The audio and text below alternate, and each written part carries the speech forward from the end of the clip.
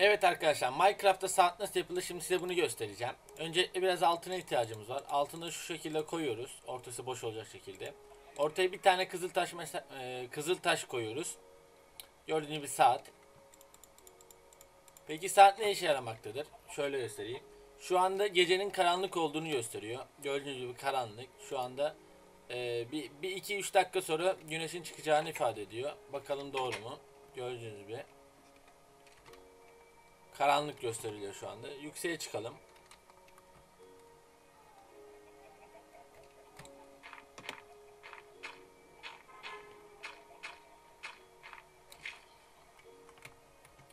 Bakıyoruz.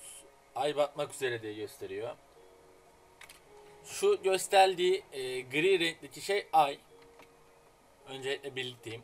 Şu ortadaki sınır tam ortaya geldiği zaman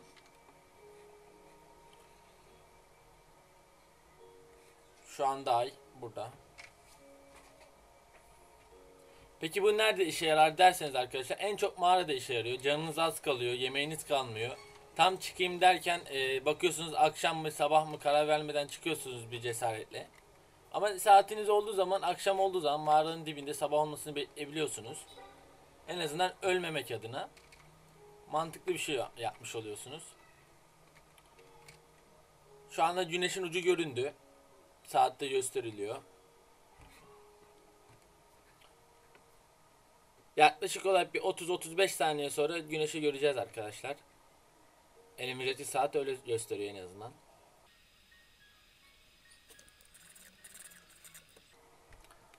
Evet. Şu anda iki diş oldu. Güneş. Dört diş olduğu zaman güneş eee kendini göstermeye başlıyor.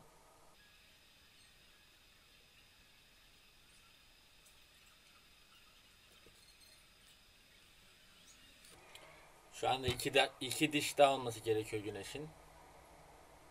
Bir diş kaldı. Bir diş daha geldikten sonra güneş tamamen çıkacak.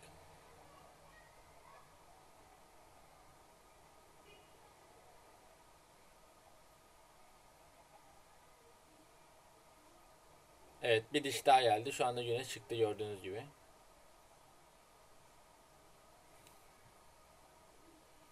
Ama tuğla olduğu için karşısında toprak olduğu için göremediniz. Şöyle yapalım.